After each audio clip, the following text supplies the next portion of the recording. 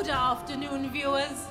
This is very excited BBC tennis correspondent Barbara Shoppe welcoming you to a sweltering centre court in Wimbledon.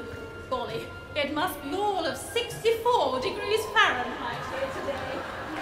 Good evening, ladies and gentlemen. This is very excited BBC entertainment correspondent Barbara Shoppe welcoming you to London's West End Musical Theatre Awards. What a splendid evening we have ahead of us. It's going to be simply marvellous. Excuse me, Barbara. Are the rumours true? Have you left the BBC? Well, yes, I can indeed confirm I, I have parted company with the BBC.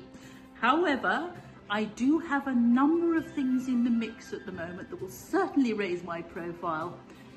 Do you know, I can share with my loyal and lovely followers that something very exciting is coming up on the 31st of October, so watch this space. I can't wait.